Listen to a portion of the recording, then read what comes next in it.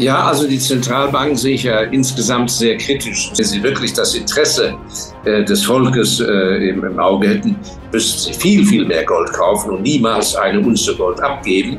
Denn nur das physische Gold ist ja das Gold, auf das sie sich verlassen können. Also die Zentralbanken haben komplett versagt. Wir haben Inflation durch künstliche, politisch geschaffene Fakten, durch Embargos, mangelnde Rohstoffe und alles Mögliche. Im Prinzip gehört ja die Hälfte von dem gesamten politischen und volkswirtschaftlichen Apparat ja abgeschafft. Und gerade deshalb ist ja die Präsenz in den Medien so radikal geworden, weil die genau wissen, an sich sind überflüssig. Liebe Zuschauer, ihr seht's, ich habe wieder mal einen bekannten Gast auf unserem YouTube-Kanal, Herrn Dr. Markus Elsässer. Ich freue mich riesig, dass er sich heute die Zeit nimmt, mit uns gemeinsam seine Erfahrungen zu tauschen, nicht nur aus dem Bereich der Rohstoffe und dem Minensektor, sondern vor allem auch als bekannter Value-Investor. Herr Dr. Elsässer ist ja durch die Welt gekommen. Er ist selbst, ähm, hat selbst in London gelebt, in Hongkong, ist in London geboren als Sohn eines Botschafters, hat auch in Paris gelebt, absolvierte dann eine Banklehre, ein Wirtschaftsstudium an der, an der Universität zu Köln. Und Herr Dr. Elsässer hat gerade eben ein Buch veröffentlicht, die sechs entscheidenden Lektionen des Lebens, was sich auch in der Manager-Bestsellerliste befindet. Und zwar im Manager-Magazin. Herr Elsässer, vielleicht können Sie es mal kurz in die Kamera halten. Das Buch für unsere Zuschauer, weil Sie es greifbar haben. Ähm, kann ich nur jedem empfehlen, Ihr wisst alle, das beste Investment ist immer das Investment in sich selbst. Lest es gerne durch. Der YouTube-Kanal von Herrn Dr. Elsässer ist ebenfalls unter dem Video verlinkt. Wir steigen direkt ins Gespräch ein und ich freue mich natürlich, wenn ihr Herrn Dr. Elsässer ebenfalls unterstützt und zahlreich auf seinen YouTube-Kanal rübergeht. Herr Dr. Elsässer, ich begrüße Sie ganz herzlich und freue mich, dass Sie mit uns über Ihr neues Buch und vor allem über spannende Fragen sprechen, die unsere Community gestellt hat. Herzlich willkommen hier. Hallo. Vielen Dank. Eine große Ehre, bei Ihnen sein, sein zu dürfen. Danke. Das freut mich. Dankeschön. Herr Dr. Elsässer, ähm, wir haben ja ähm, äh, spannende Themen, die sich gerade in der Welt auftun. Unter anderem möchte ich vielleicht mal an dem Thema anknüpfen, bei dem wir im letzten Gespräch aufgehört haben, und zwar das Thema Minen. Bei den Minen, ähm, ja, gerade in denen, in denen Sie schon unterwegs waren in Australien, haben Sie ja schon ein paar Einblicke teilen können im letzten Gespräch. Unsere Zuschauer stellen sich gerade die Frage, was eignet sich wohl besser? Physische Käufe oder Investments in Minen? Wo sind die Unterschiede? Was können Sie den ja, den, den einfachen Anlegern derzeit raten und was sind Ihre Erfahrungen gerade aus diesem Minensektor? Ja, ich bin ja ein großer Anhänger des physischen Goldes und auch Silbers. Und ähm, das ist natürlich eine, eine sichere Bank, möchte ich sagen. Das Minen, das Investieren in Minen über die Börse ist ein eigenes Metier, was sehr komplex ist. Ähm, bei den kleinen Exploitionsgesellschaften oder äh, Gesellschaften, die von einer Exploration hin zur, äh, zum Betreiben einer Mine sich entwickeln. Das ist, äh, da gibt es viele spezielle Punkte, auf die man achten muss. Äh, für den Normalanleger, in Anführungszeichen, der nicht die Zeit hat, sich da etwas tiefer einzuarbeiten oder nicht die Lust hat, würde ich natürlich die ganz großen Minengesellschaften empfehlen. Und was da wahrscheinlich anstehen wird in den nächsten Jahren, äh, ist natürlich der Aufkauf von äh, kleineren, die einen größeren schlucken wollen, ein größerer, der einen kleineren schluckt. Warum? Weil der Neueinstieg in das Minengeschäft wird in den nächsten Jahren immer schwerer. Es ist schon sehr schwer, aber es wird noch viel schwerer.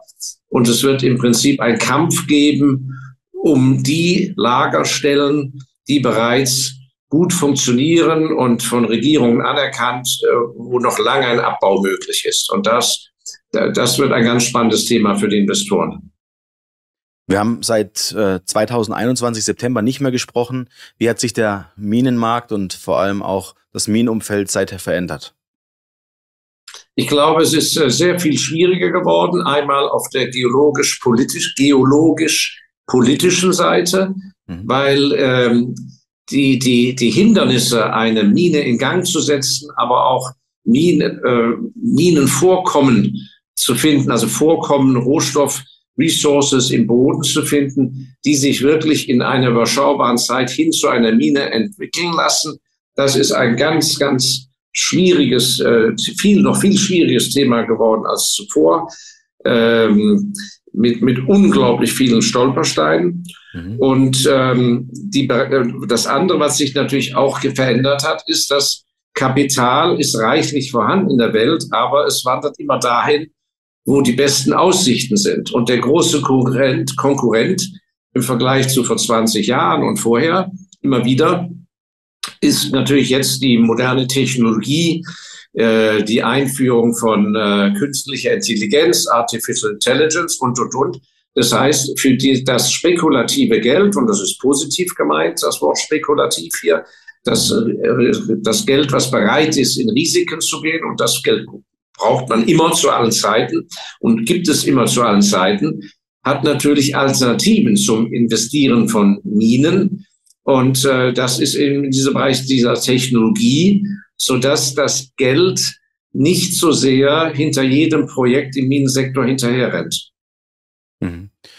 Und was halten Sie von den ähm, Gerüchten, dass beispielsweise ein Star-Investor wie Elon Musk, mittlerweile der reichste Mann der Welt, zumindest in öffentlichen Zahlen zufolge, nun scheinbar in eine Silbermine investieren möchte, mit dem Hinblick darauf, dass er zwei, drei sehr rohstoffintensive Unternehmen führt, wie beispielsweise Tesla, die im ersten Quartal 450.000 Autos verkauft haben und im Jahr 2030 Absatzzahlen von 20 Millionen Fahrzeugen pro Jahr erwarten, wo ja sehr, sehr viel Silber benötigt wird. Also in jedem Tesla stecken drei Unzen Silber.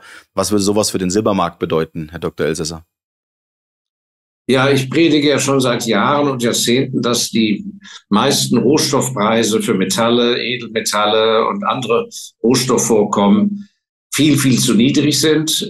Die Geologen rechnen das nie sauber durch. Äh, vom ersten Finden eines potenziellen Vorkommens, meistens durch Prospektoren, also Einzelkämpfer draußen im Busch oder im Urwald, bis hin schließlich zu einer funktionierenden, äh, einem funktionierenden Abbau einer Mine.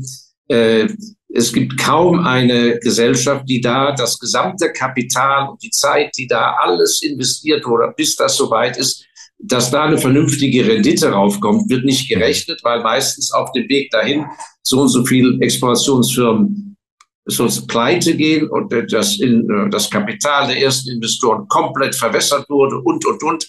Und das wird nie einkalkuliert und eingerechnet. Und insofern glaube ich, dass wir, wir werden es zu tun haben in den nächsten Jahrzehnten mit einer Verknappung im Angebot mhm. von Rohstoff auf dem Markt in vielen Bereichen. Ähm, und worüber sich die meisten Konsumenten oder Menschen gar nicht im Klaren sind, ist in vielen Sektoren, an wie wenig Minen vorkommen, überhaupt unsere ganze moderne Welt hängt. Es gibt Bereiche, da gibt es vier Minen auf der Welt und das ist es.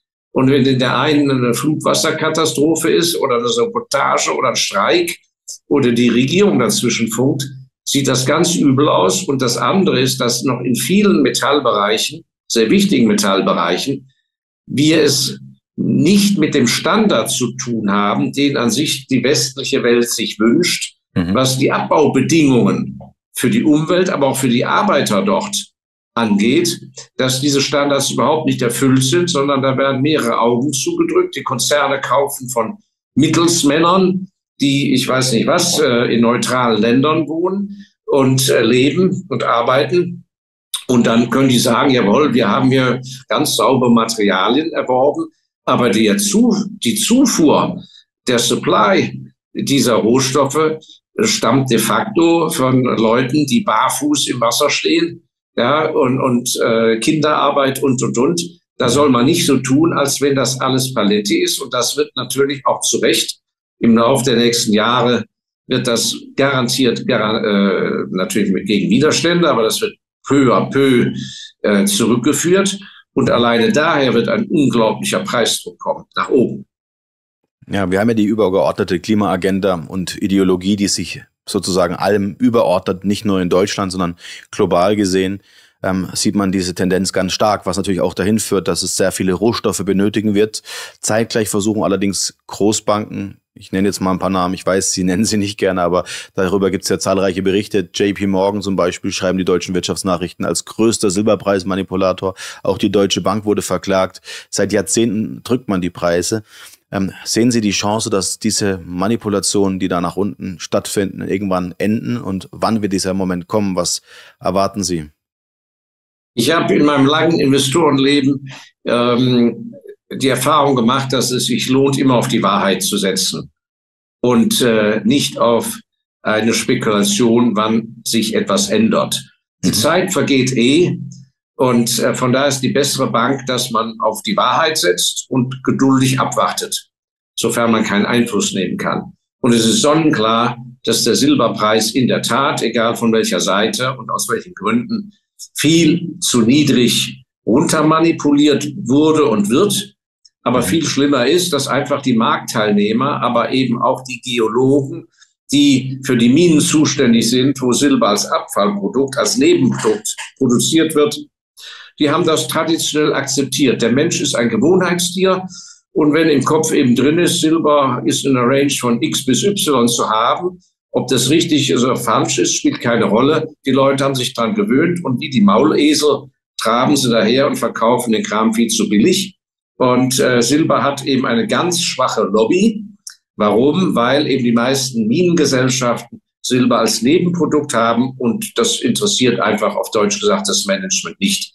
Ähm, bei dem jetzigen Silberpreis von etwa 23 Dollar kann ja jeder Mensch sich ausrechnen, wie, äh, dass das sich ja sauber kaufmännisch überhaupt nicht rechnen kann. Mhm. Sozusagen ein Abbau in den höchsten Regionen der Anden in Südamerika, äh, Transportversicherung hin zu Großhändlern zur Schmelze, dann von der Schmelze rüber nach Europa oder nach Perth äh, in die, in die äh, äh Münzanstalten, die staatlichen äh, dann wird es gemünzt, äh, die, die, die Prägung muss sein und, und, und die ganze Kette all dieser Menschen, die da involviert sind, die auch alle was verdienen müssen daran. Und das soll dann schließlich, auf, wenn es äh, ähm, wenn es auf dem Tisch des, des, neuen Besitzers landet, die Unze natürlich mit Mehrwertsteuer drauf in manchen Ländern, das soll dann mal für alle befriedigend, kaufmännisch erfolgreich äh, 23 Dollar gekostet haben. Äh, wenn ich zwei Bücher äh, von Europa äh, mit UPS äh, ins Ausland nach Asien schicke oder nach Amerika, kostet es ja schon mehr. Also das Ganze ist ja ein Witz. Es wird einfach nicht genug kaufmännisch darüber nachgedacht. Wer sind denn die Profiteure von diesen enorm günstigen Silberpreisen? Also wir haben ja mit Basel, ja? Die, die, die Konzerne, die Silber kaufen. Okay. Und wie sieht's bei den Zentralbanken aus? Also wir haben ja bei den Zentralbanken enorme Goldkäufe gesehen letztes Jahr. Seit Basel III haben wir auch ähm, Silber als ein Asset, ähm, der eben mit aufgenommen wurde. Als Sicherheit sehen Sie auch hier eine Tendenz oder erwarten Sie eher, dass die Zentralbanken bei ihrem guten alten Gold bleiben? Ja, also die Zentralbanken sehe ich ja insgesamt sehr kritisch. Äh, die Zentralbanken waren ja die Steinvorlage ähm, im Jahr 2000, es, Sie haben ja Zuhörer, die damals auch schon erwachsen waren, mhm. im Jahr 2000 darf man nicht vergessen, hat das Gold, die äh, äh Unze Gold ja 270 Dollar gekostet. So, das Jahr 2000 ist nicht so ewig her. Also wie gesagt, wir reden über die Jetztzeit. 270, jetzt haben wir 1900.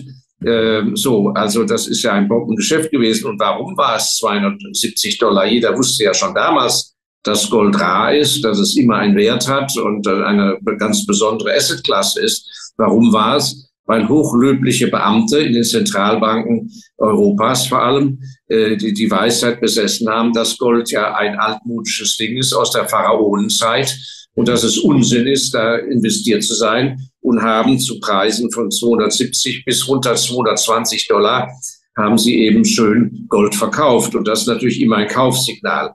Mhm. Also äh, von daher würden wir sagen, äh, wenn wir in England wären, the Queen is not impressed. Mhm. Also da würde ich sagen, Schulnote 5 für diese, diese Bande da. Ähm, so, und äh, äh, ich meine, die, die, die, äh, die Zentralbanken kaufen viel zu wenig Gold. Mhm. So, wenn sie wirklich das Interesse eines, also die nationalen Zentralbanken, wenn sie wirklich das Interesse äh, des Volkes äh, im, im Auge hätten, müssten sie viel, viel mehr Gold kaufen und niemals eine Unze Gold abgeben. Äh, bis hin natürlich zu der Überlegung, wo liegt das physische Gold und ist es wirklich physisch bei den Zentralbanken? Das ist ja eine alte Thematik, die in vielen Ländern ja bis heute nicht beantwortet wird. Schlicht und einfach wird ja einfach sabotiert. Das ist ja auch ein, ein absolutes Unding, denn nur das physische Gold ist ja das Gold, auf das sie sich verlassen können. äh, ein Anspruch aus, Auflie aus Auslieferung von Gold, was vielleicht gar nicht da ist. Physisch äh, ist ja de facto in der Krise nichts wert, aber man muss sich über eins im Klaren sein. Die Zentralbanken, egal wie viel Gold sie kaufen, werden einen Teufel tun, sozusagen ein, einen Goldboom in Gang zu setzen oder äh, sozusagen äh, der Goldlobby beitreten. Mhm. Denn ähm, äh, sie müssen ja versuchen, die Zentralbanken die Papiergeldstabilität zu suggerieren. Mhm. Und, und äh, Gold ist da der Gegenpart. Und von daher werden die Interessen der Zentralbanken immer auf der Papiergeldwährungsseite sein. Also auf die darf man nicht setzen. Ich glaube, man soll den Zentralbanken ohnehin mal die Frage stellen, wenn man denn selbst das Fiat-Geld äh, druckt und vermehrt und für Inflation sorgt, warum man denn eigentlich Gold auf der anderen Seite kauft und den Menschen nicht dasselbe empfiehlt. Aber darauf würden wir wahrscheinlich keine, Beant äh, keine Antwort bekommen. Sie haben ja gerade die Zentralbanken und auch die äh, ja, lokalen Zentralbanken, also in dem Fall beispielsweise die Bundesbank erwähnt. Bei der Bundesbank geht ja gerade der große äh, äh Schlag rum, dass scheinbar 650 Milliarden Verluste in den Büchern stehen durch die Anleihengeschäfte. Ähm, ja, ist sowas heute noch vertretbar? Wie würden Sie denn als Zentralbanker äh, investieren und das Vermögen strukturieren? Sie haben ja gerade schon angesprochen, Gold ist unterbewertet. Allerdings haben wir letztes Jahr auch bei den Schwellenländer-Zentralbanken ein 55-Jahres-Hoch gesehen, was sozusagen ein All-Time-High der Zentralbanknachfrage ist. Was machen denn die westlichen Zentralbanken falsch, was vielleicht diese Schwellenländer-Zentralbanken besser machen? Ja, der Punkt ist der, ähm, äh, als die Bundesbank noch sozusagen die Hosen anhatte, äh, in den 80er Jahren, äh, 70er, vielleicht wahrscheinlich auch 90er Jahren, da waren, habe ich viele, damals viele auch pensionierte Direktoren von Landeszentralbanken in Deutschland kennengelernt. Mhm. Das waren absolut beeindruckende Persönlichkeiten, die wirklich in dem Bewusstsein lebten, dass sie absolut unabhängige Leute sind, völlig losgelöst von Politik. Ja, und auch es gab ja den äh, früheren Journalisten Karl Otto Pöhl, mhm. äh, der ich glaube, über Parteibuchkarriere und so weiter schließlich ähm, Bundesbankchef mal wurde, mhm. äh, bevor er dann Teilhaber beim Bankhaus später wurde. Und da hatte jeder gesagt, oh Gott, oh Gott, der ist über Politik ja auf den Job gekommen und, und Journalist und bla bla bla. In der Sekunde, als der Bundesbankpräsident war, war der wirklich eine unabhängige Persönlichkeit, der sich rein der Währung gewidmet hat. Hm. Und das war der Erfolg der Deutschen Bundesbank und deshalb ist die D-Mark eine sau super Währung geworden. Und äh, wenn es nicht zum Euro gekommen wäre und man die D-Mark hätte weiterführen können, würde die D-Mark heute, also der, der Schweizer Franken, der wäre ja praktisch im, beim 100-Meter-Lauf im Startblock hängen geblieben, der Schweizer Franken. Und die D-Mark wäre praktisch schon 10 Meter vom 100-Meter-Ziel. Mhm. Das, das darf man sich nicht vor Augen halten. Das war die Leistung dieser fantastischen Bundesbanker. Und ähm, der, der Fehler ist einfach der, dass die Zentralbanken in den meisten Ländern, auch in Deutschland, de facto sich vor den Karren der Politik haben spannen lassen und mhm. nichts anderes. Alleine die Tatsache, dass wir eine lange Phase hatten, eine Nullzinspolitik für Sparguthaben, kann ja heute, und jetzt haben wir es nicht mehr, kann ja im Rückblick überhaupt kein Mensch mehr Ihnen normal erklären. Das hat ja mit einem Konjunkturprogramm gar nichts zu tun gehabt. Das war der Wunsch der Politik oder einiger Politiker und die Zentralbanken haben das durchgeführt. Die Vorstellung, das hat es ja überhaupt in der Wirtschaftsgeschichte in tausend Jahren von nie gegeben, noch nie gegeben, dass Leute in, in normalen Währungen, vom Schweizer Franken abgesehen, ist ein Sonderfall, dass man einfach Leuten zumutet, äh, gearbeitet zu haben, gespart zu haben, Kapital zur Verfügung zu stellen, was absolut ein, ein entscheidender Faktor für eine Wirtschaft ist und sagt, age Age, du kriegst nichts. Das wäre so, als wenn die Regierung verfügt, alle gehen zur Arbeit und oh bitte alle Beamten, äh, kein Lohn. Oder ich vermiete eine 50 Quadratmeter Wohnung an Studenten und der sagt, ich zahle nichts. Das haben wir den Zentralbanken und unserem Duckmäusertum zu verdanken. Also die Zentralbanken haben komplett versagt und ihr, das ist ja meine persönliche private Meinung, ähm, äh, haben total versagt und auf Deutsch die, das Wohl der Bevölkerung im Stich gelassen. Wir hatten im letzten Zinsschritt 0,25 Prozentpunkte aufwärts, trotz der Informationen, die vor, vorlag, dass in Deutschland ähm, ja mittlerweile offiziell die Rezession bestätigt ist. Jetzt stelle ich mir doch die Frage, ähm, wo die Prioritäten liegen. Man möchte langfristig zwar aus Sicht von Christine Lagarde das 2%-Ziel erreichen.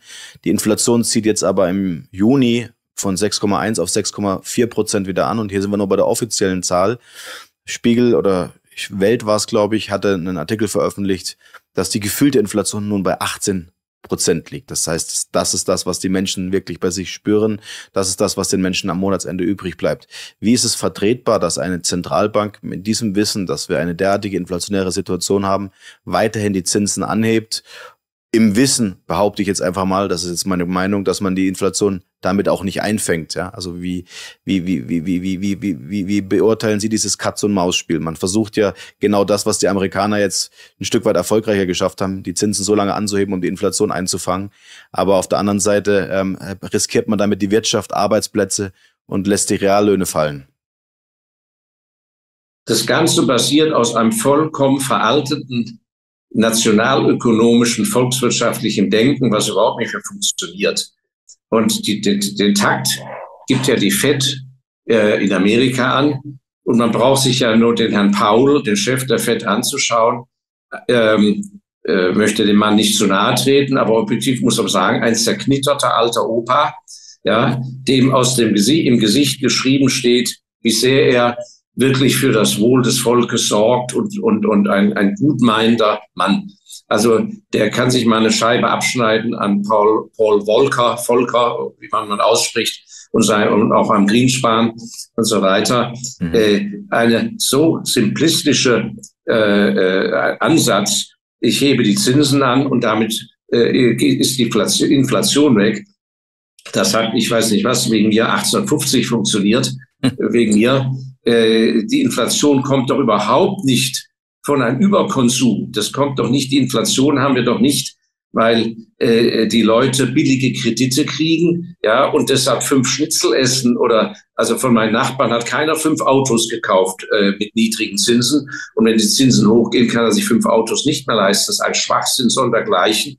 Wir haben Inflation durch künstliche, politisch geschaffene Fakten, durch Embargos, äh, äh, mangelnde Rohstoffe und alles Mögliche, vollkommene Verzerrung und jede Menge Trittbrettfahrer, die sagen, wunderbar, da erhöhe ich mal auch den Preis um 20 Prozent. Und das wird sich von ganz alleine wieder regulieren. Wenn der Estrich zu teuer ist, dann werden manche Leute in kein neues Haus bauen, dann haben wir halt ein bisschen weniger Baukonjunktur. Ja, aber die Wirtschaft bricht deshalb nicht zusammen. Und sobald der Estrich wieder billig ist oder den, den fairen Preis hat, äh, dann, dann wird auch wieder äh, der Estrich äh, gekauft werden. Ja, also dummes Beispiel von mir, aber Sie wissen, was ich meine. Ja, ja. Und zu glauben, dass das mit den Zinsen zu tun hat, ist ein vollkommener Blödsinn. Schon im Baubereich, wenn Sie mal mit richtigen Baudevelopern sprechen, natürlich wird es jetzt viel weniger gebaut erstmal. Mhm. Aber die Zahl in Deutschland zum Beispiel, die Zahl der Menschen, die weiter in Immobilien investieren werden, weil sie sagen wir, keine politische Angst haben, und die überhaupt keine Hypothekenfinanzierung brauchen, ist riesengroß. Mhm. Ich kann Ihnen Leute nennen, die kaufen jedes Jahr drei Wohnungen und äh, die Rendite ist ihnen fast egal. Hauptsache, sie haben ihr Geld in Backstein investiert. So wie es Leute gibt, die, ob es regnet oder schneit, jedes Jahr Gold kaufen und andere mhm. kaufen jedes Tag, jedes Jahr einen festen Betrag oder, äh, oder mehr, wenn sie mehr verdienen und Geld übrig haben, kaufen ihre Aktienblöcke. Also das heißt, wir haben mittlerweile einen Konsum äh, und eine Wirtschaft, die in breiten Kreisen, das hört die Politik nicht gerne, völlig losgelöst ist von Zinsen und sonst was. Das ist nacktes, pures Eigenkapital erarbeitet durch fleißige Leute, durch Leute, die 30 Jahre gespart haben, gut investiert haben, Top-Jobs haben. Und die haben ja weiter, diese Leute, oder durch große Erbvorkommen, vierte, fünfte Generation, und die nicht mehr äh, 80 Millionen haben, sondern Milliarde. So, also äh, die, die Vorstellung, dass man über ein hohes Zinsniveau die Leute dazu bringt, praktisch zu Hause zu sitzen, in Birkenstockschlappen, äh, zehn Jahre alt, keinen neuen Schuh zu kaufen, nicht mehr in Urlaub zu fahren und Knäckebrot zu essen ohne Butter, ist ja absolut lächerlich. Und ich, man muss leider unterstellen, also auch bei dem Faul äh, so weiter, dass wir es hier, ich nenne das auf Englisch People of Insignificance, Leute der Bedeutungslosigkeit, äh, die kommen auf einmal, äh, bekommen eine Plattform und aus reinem Ego-Trieb sind die super happy, wenn sie jede Woche interviewt werden und die Weltpresse machen. Der Mann hat, äh, der hat ja wahrscheinlich äh, die, die, die Blüte seines Lebens erreicht, weil er auf einmal ein wichtiger Macker ist.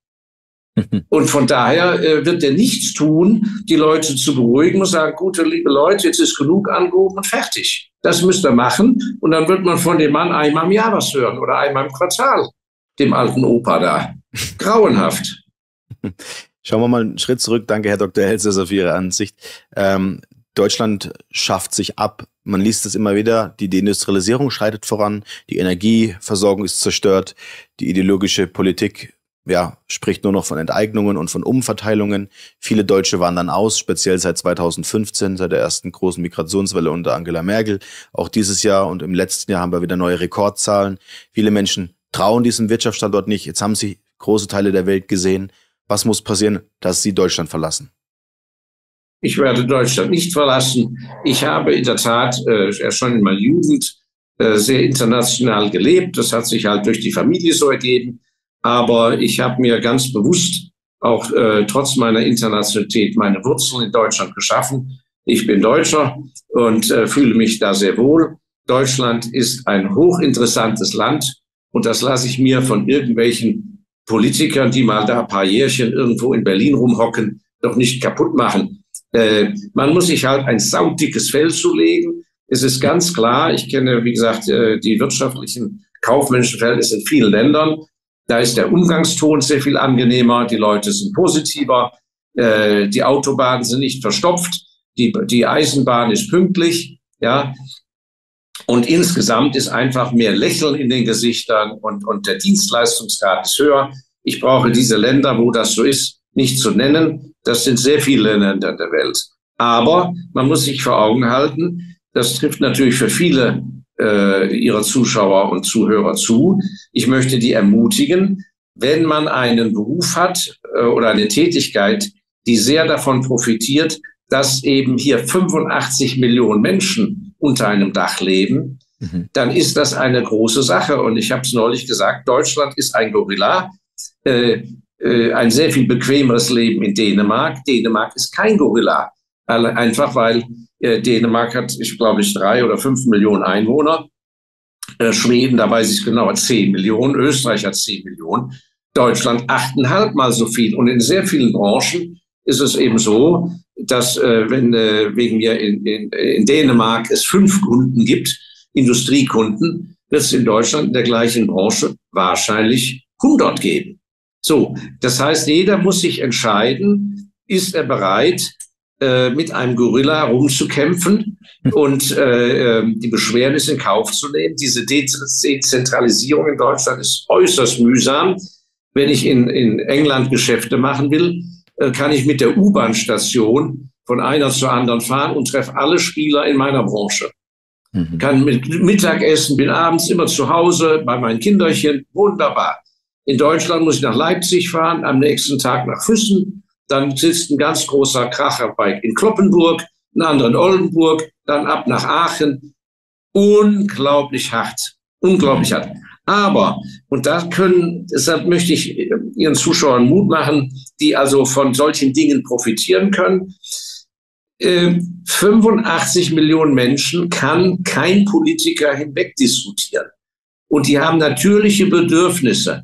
Also wer zum Beispiel einen Chlorreiniger herstellt oder exklusiv Generalimporteur für Chlorreiniger einen neuen tollen werden kann, sagen wir aus Korea, und kann, hat exklusiv den deutschen Markt, das ist ja wunderbar. 85 Millionen Leute benutzen täglich mindestens einmal die Toilettenanstalt. Ja, da muss ich in Österreich lang für stricken, bis ich auf diese Zahl komme. Achteinhalb Jahre länger brauche ich da. Mhm. Also das Gleiche mit der verdammten Regulatorik und alles wird schwieriger. Ja, da muss man auch mal nüchtern sein. Da gibt es natürlich ganze Berufszweige. Also ich habe den Beruf nicht. Die profitieren ja ohne Ende. Das heißt, manche Leute sollten sich einfach mal umstellen und sagen, aha, der Wind weht jetzt von links, hier ist Regulatorik Ende da gucke ich mal in meinem beruflichen Umfeld, da werde ich doch beruflicher Zertifizierer. ja, oder äh, beruflicher Umschuler, staatlich Verordneter. Also mein Steuerberater zum Beispiel, ja, der kommt ja aus dem Lachen und, und Lächeln überhaupt nicht mehr raus. Der ist ja im Paradies gelandet. Dieser ganze Paragraphenflut und, und, und, und wie die Finanzämter arbeiten. Paradiesische Zeiten für ganz viele Menschen. Also Fazit, ich bin reiner Pragmatiker. Jeder muss für sich gucken, wo kann ich hier reüssieren? Wenn ich zum Ergebnis komme, ich bin nicht bereit, die Opfer zu bringen und ich kann einfach nicht reüssieren, dann gibt es ja gar keinen Grund, warum man nicht woanders seine Geschäfte macht. So, man kann aber durchaus weiter äh, in seiner geliebten Heimat wohnen bleiben. Da kommt man eben, was weiß ich, zweimal im Monat ein, eingeflogen. Ja, wenn ich gute Geschäfte mache, sind die woanders, wohne aber weiter in Deutschland und kann auch wegen mir in Deutschland die Steuern zahlen, wenn die äh, günstiger sind. Und anderen Leuten kann ich nur sagen, nicht auf, auf die Angstmacherei, Angstmacherei reinfallen, sondern den Wind nutzen. Äh, viele äh, Branchen werden absterben, aber man muss ja nicht mit einer Branche sterben. Man kann sich ja äh, neu aufstellen. Man kann aber auch mit, wenn man 40 Jahre ist, kann man ja auch einen neuen Beruf lernen. Also, Absolut. Und, und, und es ist so, Deutschland hat es immer schwer gehabt. Also sie haben immer schon am Genfer See seit Generationen besser gelebt. In Schweden, wo ich viele Interessen habe, da sitze ich auf der Terrasse eines Hauses die gleiche Terrasse existierte schon mit dem gleichen Holz, kein Witz, 1910 und auch 1933, 1939. Und da haben die in Ruhe Tee getrunken, während zum Beispiel die Zeitung gelesen haben gesagt, guck mal an, Hamburg ist jetzt zerbombt worden.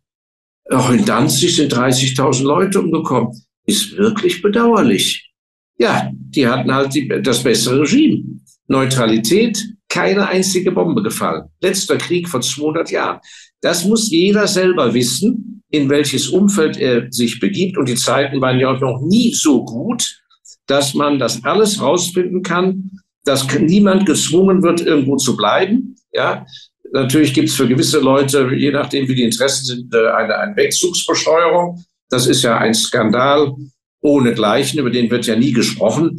Der ist ja unter der Merkel-Ära äh, Gott hab sie selig, hätte ich beinahe gesagt, ist er noch verschärft worden äh, unter einer CDU-Regierung.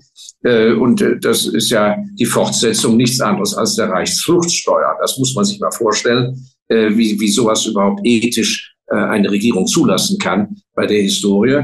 Also Deutschland ein schweres Land, aber voller Opportunities für die, die flexibel sind. Ja, Sie haben es gerade gesagt, das ähm, äh, Thema mit der Wegzugsbesteuerung ist führt sich auf allen Enden fort, ob jetzt die höhere Bewertung von Immobilien bei der Erbschaftssteuer, ob ein drohender Lastenausgleich. Wir sehen das Thema mit der Heizung. Also die breite Mittelschicht wird natürlich ein Stück weit äh, ausgedünnt. Und die Gretchenfrage ist natürlich schon, ähm, welche Märkte sind aus Investorensicht spannend? Wo schaut der klassische Anleger hin? Also wo schaut ein Value Investor? Wo ist auf diesem Planeten? Wo sind die Emerging Markets? Wo gibt es die Potenziale? Ähm, wie sehen Sie das? Wo würden Sie momentan so ein bisschen den Fokus auf der Welt hinlenken? Wir sind ja nicht der Nabel der Welt und es gibt bestimmt auch Länder, in denen eben die Energieprobleme nicht so einen derartigen Einfluss haben werden wie in Deutschland. Was können Sie also den Zuschauern empfehlen, sich mal ein bisschen genauer anzuschauen? Ja, im Prinzip ist ganz einfach mit gesundem Menschenverstand.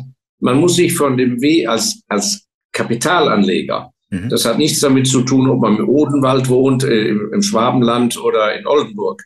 Man muss für sein Kapital international denken und schauen, wo ist es am besten aufgehoben. Also bei Edelmetallen, Gold und Silber hat mit Konjunktur nichts zu tun und auch mit der Regierung nichts. Weltmarktpreis, überall transparent, wunderbar. In Sachen Währungen ist auch ganz einfach. Man muss ja immer nur schauen, wer hat wie performt, wer hat was geleistet in der Vergangenheit. Und das kann man im Prinzip meistens schon fortsetzen. Und da muss man einfach sagen, äh, seine Währung, Währungsbestände in der Schweizer Franken gehabt zu haben vor 20 Jahren, das war einfach eine wunderbare Entscheidung. Und auf diese Währung wird einfach besser aufgepasst als auf einen Euro. Punkt aus Ende. Und das hat nichts damit zu tun, dass das mal zwei, drei Jahre gegen einläuft. Die lange Linie ist ganz klar und fertig. Also Gold und Silber, Währung Schweizer Franken und äh, ansonsten bei den Engagements bei Firmen, also Aktien, Aktienfonds, kann ich nur sagen, sich raussuchen, die internationalen Perlen, die nicht abhängig sind von einer Person im Management und die nicht abhängig sind von einem Land, sondern die bereits heute ein Weltgeschäft betreiben. Weil dann wird es so sein, dass sie sagen, ja, guck mal an, zurzeit und die nächsten drei, vier Jahre ist in Deutschland also sehr mau und äh, da machen wir ja zehn Prozent von unserem Umsatz und da ist kein Wachstum. Aber dafür ist in Indien sehr viel besser und Brasilien hat uns sehr erfreut und deshalb können wir die Dividende erhöhen. Thema beendet. Dem ist völlig wurscht, ob in Berlin der Herr Habeck Bundeskanzler ist oder nicht. Das interessiert ja ein Pfeifendeckel. Das wird kurz und knapp analysiert. Man guckt, man passt sich an. Und ansonsten ist es so, äh, für die vielen deutschen Anleger äh, muss man eben schauen, im Immobilienbereich ist eben dann wegen mir die Zeit des auf, auf dem Papier, dass die Immobilien immer mehr wert sind, ist wegen mir vorbei. Aber wenn jemand seine Immobilie gar nicht verkaufen will, weil er äh, Mieteinnahmen haben möchte für seine Privatrente, äh, dann gibt es ja durchaus Immobilien, egal was Berlin macht, die werden auch weiter eine ordentliche Miete monatlich kassieren.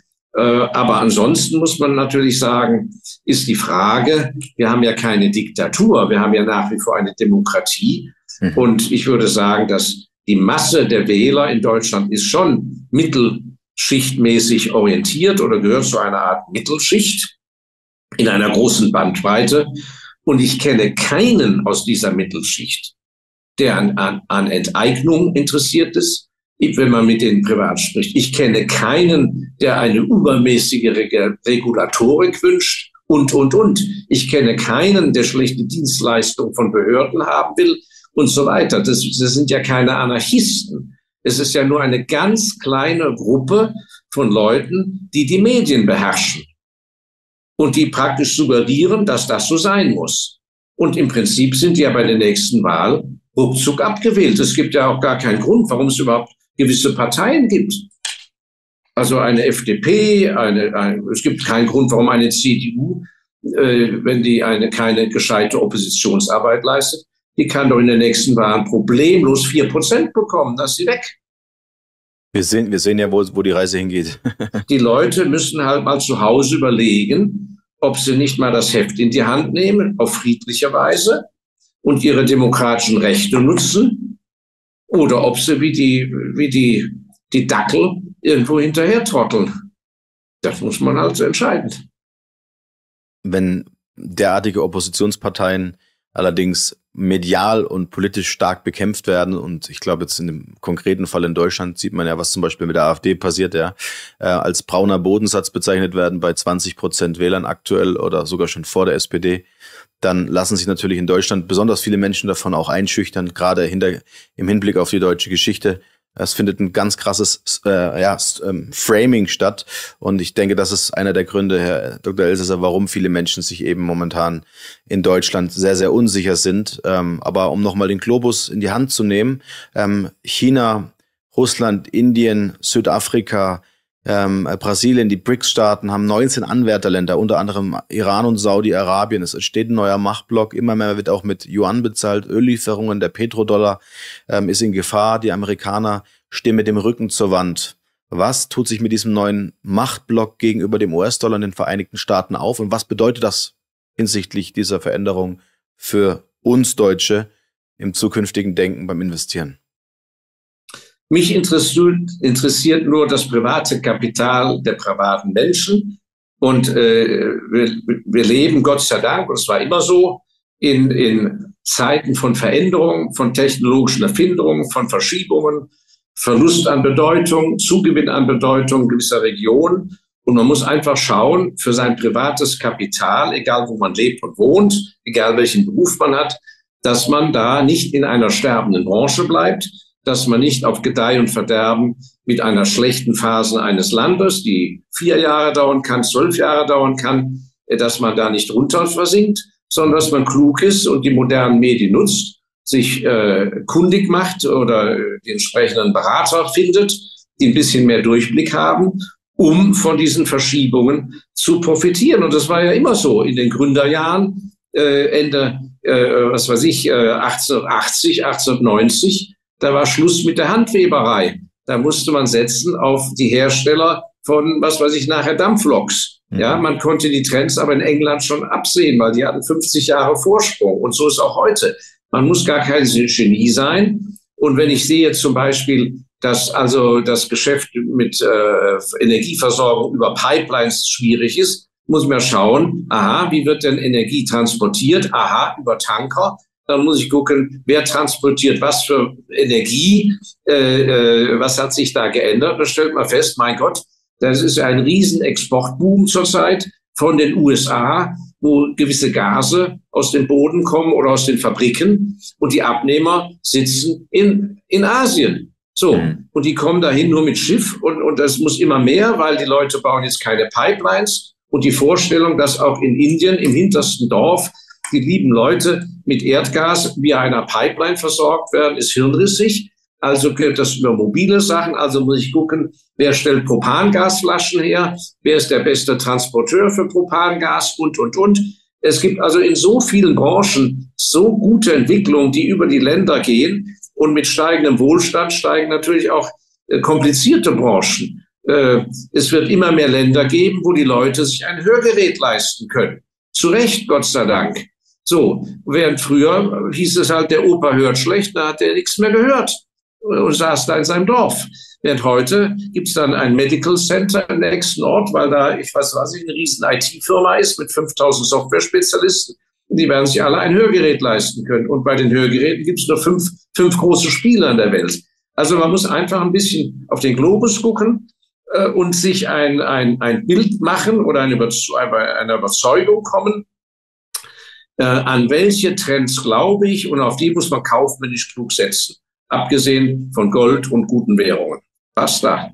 Jetzt hat China angekündigt, ähm, wenn wir uns das nochmal anschauen, den Export wichtiger Metalle äh, einzuschränken. Also wenn wir hier einen Rohstoffkrieg sehen würden, was würde das bedeuten aus Investorensicht im Rohstoffsektor? Also wir haben ja gesehen, das war die Antwort der Chinesen auf die ersten Handelsrestriktionen der Amerikaner und als Vergeltungsmaßnahme des Halbleiterexportstopps der USA. Ähm, was erwarten Sie hier? Werden sich diese Sanktionen, wie wir es jetzt auch Russland, Ukraine, Deutschland und so weiter gesehen haben, werden die sich weiter hochschaukeln jetzt bei der, ja, ich würde jetzt mal sagen, bei der Teilung der Welt in zwei große Machtblöcke? Oder denken Sie, das geht einem Privatanleger spurlos vorbei? Nein, nein, äh, das hängt davon ab, wie die große Politik sich entscheidet. Ich meine, es ist ja ein Armutszeugnis, was da zurzeit läuft und das ist natürlich auch negativ eingepreist. Wenn Sie sich vorstellen, dass der amerikanische Außenminister das letzte Mal mit seinem Kollegen in China vor Ort im Jahr 2018 gesprochen hat, dann gehören die, gehört der ja geohrfeigt. Ja, das ist ja Arbeitsverweigerung. Ja, wie, wie kann das sein, wo man zuständig ist für wirklich die Geschehnisse in der Welt, dass man einfach sagt, wir reden ja mit, mit nicht miteinander. Das ist ja absoluter Kindergarten oder schon ja. Sabotage. Also ich sehe einerseits, wenn man optimistisch ist, ein großes positives Überraschungspotenzial in der Zukunft. Es bedarf ja lediglich eines gescheiten neuen Präsidenten in den USA, äh, der einfach äh, in der Lage ist, sagen wir mal, wie Ronald Reagan und Gorbatschow damals, Kraft Persönlichkeit äh, einfach mal wieder aufeinander zuzugehen. Mhm. Man darf ja nicht vergessen, die Chinesen in Anführungszeichen sind ein merkantiles Volk. Mhm. Äh, keine chinesische Regierung hat irgendwelche Interessen zurück zur Mao-Zeit zu gehen. Keine chinesische Regierung hat Interessen, die Leute in die Armut zu führen. Äh, das Erwerbsstreben ist tief drin in dieser nationalen, in der DNA. Mhm. Aber die Leute müssen wieder miteinander reden. Also ich glaube, ein Szenario wenn man optimistisch ist, ist, dass in den nächsten drei, vier Jahren einfach eine ganze Reihe von äh, äh, sabotagefreundlichen, ideologisch verbrämten Spinnern endlich wegkommen auf Positionen und die Dinge verhindern. Und dann ist im Handumdrehen, ist Kollaboration und, und, und, und Friede und ganz viel möglich. Ja. Auf der anderen Seite, wenn man pessimistisch ist, muss man sagen, das wird nur noch verhärteter. Und dann ist ein Land wie Deutschland ganz schlecht dran. Das wird bedeuten, wir werden ganz viel Geld zahlen müssen für ganz viele Dienstleistungen und Produkte, weil wir selber besitzen gar nichts. Ja. Fertig aus. Ja, die Entwicklung führt ja mittels ähm, äh, der aktuellen Bankenkrise im Hintergrund auch in eine ganz ähm, äh, dystopische äh, Entwicklung. Und zwar, wenn wir uns mal die pessimistische Seite uns anschauen, und zwar die digitalen Zentralbankwährungen schwingen im Hintergrund. Man spricht mittlerweile unverblümt darüber. Es gibt jetzt den ersten Gesetzesentwurf zum digitalen Euro, in dem diverse Dinge möglich sind, wie beispielsweise auch Offline-Zahlungen, das heißt ein Ersatz für Bargeld. Ähm, diese Entwicklung äh, ist eine Entwicklung, vor der sich viele unserer Zuschauer beispielsweise äh, Sorgen machen, denn verknüpft mit beispielsweise dem digitalen Ausweis, der digitalen IDD kommt, werden damit ja Tür und Tor für kommunistische Kontrollgedanken und sonstige äh, Orwellschen äh, äh, ja, Albträume geöffnet. Wie, wie, wie beurteilen Sie diese digitale Zentralbankwährungsentwicklung, ähm, was hier gerade im Hintergrund passiert? Ich glaube, FedNow startet nächsten Monat in den USA, also die erste US-Zentralbankwährung. Äh, ähm, was halten Sie davon? Ich bin äh, schon seit früher Jugend ein absoluter Feind von jeglicher Zentralplanwirtschaft, von, von, von Funktionärsdiktatur, von Unfreiheit, weil es ist so, ähm, das sind, wo, das sind Machtgefüge von Menschen, die machthungrig sind, äh, häufig Menschen mit Minderwertigkeitskomplexen, die irgendwo einen Schuss abbekommen haben und die es einfach lieben, ja, das ist so, die es einfach lieben, plötzlich an der Macht zu sein und in Kombination mit der Mediendiktatur selber überrascht sind, was sie alles durchsetzen können. Und man muss eben wirklich sich für die, für Toleranz, äh, äh ich habe das in Singapur erlebt. Singapur wird immer verteufelt. Da habe ich, hab ich ja fünf Jahre gelebt. Da leben die Chinesen, die Malay, die Inder, Expatriates aus äh, der ganzen Welt friedlich zusammen, weil es klare Regeln gibt. Man darf den anderen nicht missionieren. Jeder wird gelassen auf seinem Gebiet. Dann kann man sehr friedlich und sehr tolerant zusammenleben. Ja, äh, die Verteufelung von Singapur in manchen Medien ist einfach nicht richtig. So äh, und von daher sind jegliche Trends, dass eben man die Wahrheit nicht sagen darf, dass, die, äh, dass ein Andersdenkender ausgegrenzt wird. Dagegen muss man mit Vehemenz angehen. So. Und die Vorstellung, dass ein paar volkswirtschaftlich orientierte Hanseln äh, praktisch äh, eine Oberkontrolle über die Zahlungsströme haben wollen, ist, ist von, von, von Grund auf abzulehnen. Es gibt überhaupt kein, keinerlei kaufmännische Veranlassung dazu. Ganz im Gegenteil, wir sind über die Technologie ja so weit, dass wir an sich überhaupt gar keine Zentralbanken brauchen. Im Prinzip gehört ja die Hälfte von dem gesamten politischen und volkswirtschaftlichen Apparat ja abgeschafft. Und gerade deshalb ist ja die Präsenz in den Medien so radikal geworden, weil die genau wissen, an sich sind überflüssig. Ja. Das ist ja das Gleiche bei dem Aufbau von Behörden und, und Beamtentum und so weiter. Mit der heutigen Technologie, ja, äh, müssten wir an sich nur noch ein Zehntel des Apparates haben. Das geht ja hocheffizient. Stattdessen ist umgekehrt. Wird der Apparat, die Bürokratie immer größer aufgebaut. Und weil im tiefsten Inneren, da sind ja nicht nur dumme Leute, das sind ja auch sehr schlaue Leute, im tiefsten Inneren wissen die, dass die mit einem Fingerschnips, wie damals das SED-Regime, von einem Tag auf den anderen, bitte treten Sie zur Seite, wir brauchen Sie nicht mehr. Und so ist das bei ganz vielen dieser Leute. Aber wir haben leider da einen auf, das kam natürlich auch durch diese Erkenntnis in den äh, Corona-Zeiten, dass auf einmal äh, politisch orientierte Leute erkannt haben, Donnerwetter, es gibt ja gar keinen Widerstand. Die akzeptieren das ja. Da gehen wir einen Schritt weiter. Und die Gefahr war immer in der Geschichte die, wenn jemand wo sitzt und auf einmal merkt er, ich werde ja gar nicht bestraft, wenn ich eine Sauerei mache. Es merkt keiner. Oder ich kriege ja sogar Applaus. Dann entscheidet sich, was für ein Mensch da ist. Und das habe ich ja in meinem Buch, diese sechs entscheidenden Lektionen des Lebens, sehr genau beschrieben. Dieser fehlende Wertekatalog oder wo sich auch die jungen Leute ganz früh über sich selber im Klaren sein müssen. Und ich freue mich sehr, dass das Buch auf Platz sieben der Best Bestsellerliste genannt mal, ja. dass es doch Leute, ja, ich will keine Werbung machen jetzt, aber äh, äh, dass auch so viele junge Menschen sich dafür interessieren, dann entscheidet sich jemand. Ob ich sage, Mensch, guck mal an, ich werde nicht bestraft, ja, dann, dann mache ich mal eine richtige böse Sauerei. Ist gar nicht gut für die anderen, aber gut für mich. Oder wir haben jemanden da, der eben sagt, okay, äh, ich muss hier etwas in Gang bringen oder mich einsetzen für etwas, was sich in 30 Jahren positiv auswirken wird. Und da haben wir im Moment einfach eine wirkliche Schieflage und haben mangelnde Vorbilder und die, deshalb sind eben die Menschen auch so irritiert. Sie wissen nicht mehr, an wen sie sich halten sollen. Und das ist eben sehr traurig, aber das kann man ändern. Vielen Dank auch für diese Einsicht. Die sechs entscheidenden Lektionen des Lebens heißt dieses Buch. Wir verlinken es genau wie den YouTube-Kanal von Herrn Dr. Elsässer unter dem Video.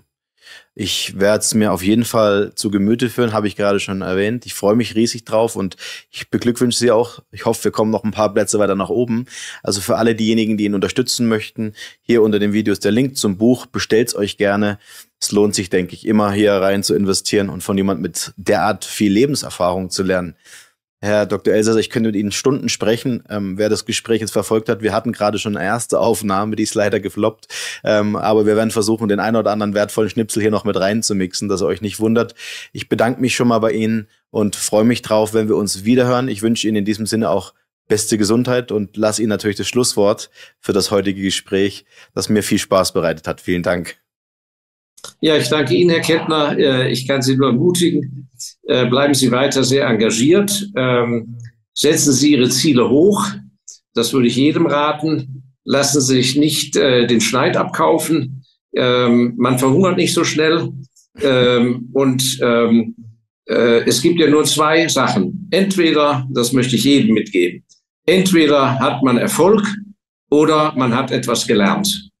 Dazwischen gibt es nichts. Insofern lohnt sich Engagement äh, sein, und man muss sich selber für seine Interessen einsetzen. Der beste Vertreter ihrer eigenen Interessen sind nur sie selber.